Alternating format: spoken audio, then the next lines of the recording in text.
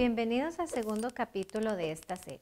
En este capítulo hablaremos sobre las diferentes teorías que explican el desarrollo humano.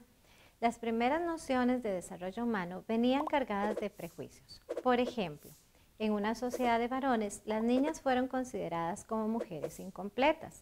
Además, se pensaba que el ser humano era contenido en el espermatozoide y la mujer era solo una incubadora.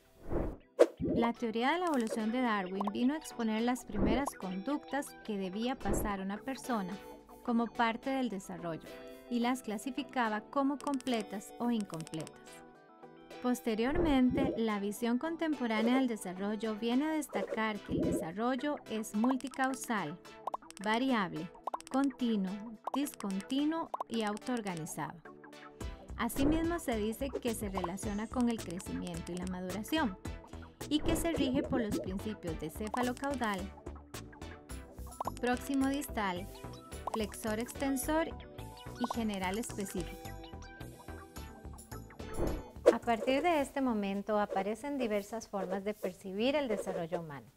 Para ello analizaremos algunas de las ideas más importantes que explican estas teorías. Empecemos por el psicoanálisis.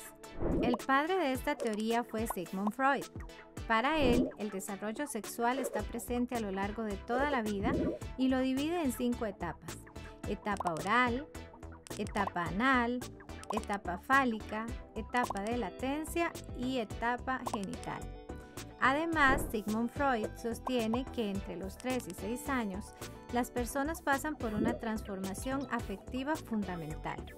Por ejemplo, el niño varón se enamora de su madre y siente celos y rivaliza con su padre. A esto lo denominó complejo de Edipo. Un aporte a esta teoría la realizó Melanie Klein, quien definió el juego infantil como un lenguaje que servía para expresar lo inconsciente a través de la fantasía, es decir, que mediante las acciones del juego se expresa lo que no se logra decir. Otra corriente teórica es el conductismo, John Watson es el padre de esta teoría. Este consideró que los niños llegan al mundo únicamente con patrones reflejos de comportamiento, producto de la evolución. Por lo tanto, todo comportamiento diferente responde al aprendizaje. Iván Pavlov sostuvo que el aprendizaje se da cuando un estímulo neutro se asocia a un estímulo respuesta. Además, Skinner fue quien postuló el condicionamiento operante, el cual consiste en la relación de una conducta con sus consecuencias. De acuerdo con esas consecuencias, una conducta puede aumentar o disminuir. Las dos formas de condicionamiento operante que postuló Skinner son el refuerzo y el castigo. Y las técnicas para modificar conductas desde el condicionamiento operante son extinción, tiempo fuera y modelamiento. Ahora hablaremos sobre la epistemología genética. El precursor de esta teoría fue Jean Piaget. Piaget sostuvo que el pensamiento no evolucionaba en forma lineal y continua, sino a través de una serie de etapas o de estadios distintos entre sí. Para él, el desarrollo se divide en etapa sensoriomotora, etapa preoperacional, etapa de operaciones concretas y etapa de operaciones formales.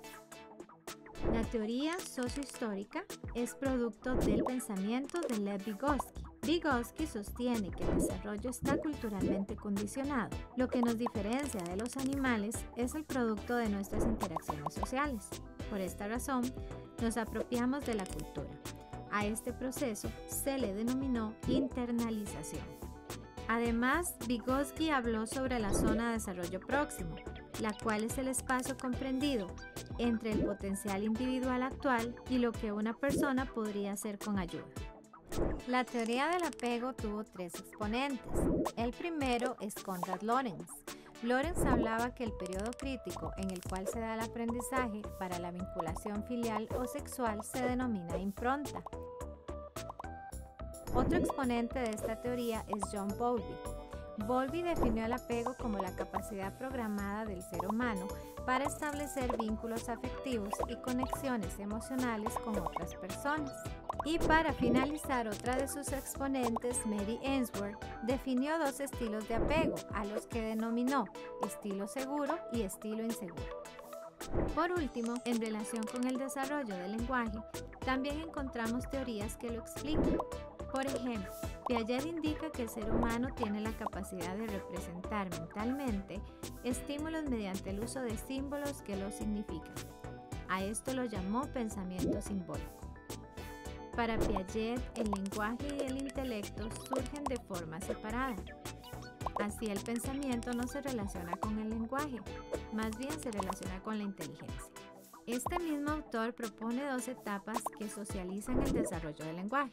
El habla egocéntrica, que es el habla centrada en el niño. En esta etapa aún no incluye a nadie más en el discurso. Y la otra es el habla social, donde se incluye a otra persona en su mensaje. Para Vygotsky, el lenguaje produce el pensamiento, es decir, el pensamiento existe a través de las palabras. Además, identifica dos etapas. Fase de prelenguaje, cuando el niño repite palabras sin significado, y otra, etapa lingüística, cuando las palabras ya tienen una intención. Para Vygotsky, el lenguaje es siempre social. Por su parte, Chomsky, otro de los exponentes de esta teoría, refiere que imitar y repetir no implica adquisición del lenguaje. Define el lenguaje como un dispositivo que se desarrolla a través de las estructuras mentales. Este dispositivo se activa en la infancia y de no contar con la estimulación necesaria, el lenguaje no se aprende.